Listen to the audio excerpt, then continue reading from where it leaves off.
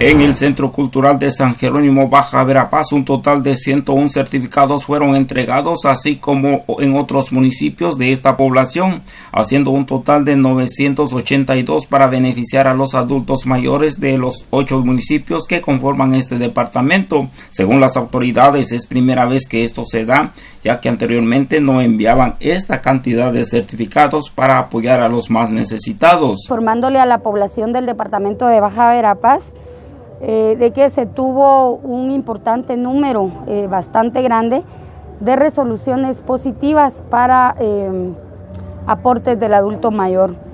Decirles que pues en la historia, según tengo yo conocimiento, nunca se había dado para Baja Verapaz ese gran número.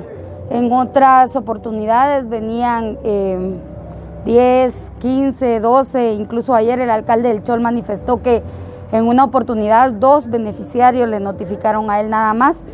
Decirles que a nivel departamental son 982 eh, adultos mayores beneficiados, distribuidos en los ocho municipios del departamento. Los beneficiados se mostraron muy agradecidos, esto porque algunos tuvieron que esperar más de dos años y ahora solo tendrán que ir al banco para recibir su apoyo económico que lo utilizarán para la compra de medicina y granos básicos. Ahora eran 400, ahora ya le aumentaron 100 más, son 500, sí. Gracias a Dios que ya están mejorando, sí que agradecemos mucho al gobierno y a, nuestro municipio, al alcalde por el apoyo que nos daba.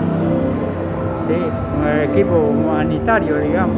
Sí, El departamento de Baja Verapaz es uno de los que están en el corredor seco y la pobreza se ve latente en esta región por lo que las ayudas son de mucha importancia para los pobladores, aunque algunos lamentaron que no son tomados en cuenta. Recientemente diputados del Congreso de la República se pronunciaron sobre este programa de ayuda al adulto mayor. Según los congresistas, se ha recibido algunas denuncias de que el beneficio no ha llegado a todos y que los trámites son muy lentos. Es por eso que anunciaron que fiscalizarán los procesos. Desde Baja Verapaz para Canal Antigua, Rodrigo Sig.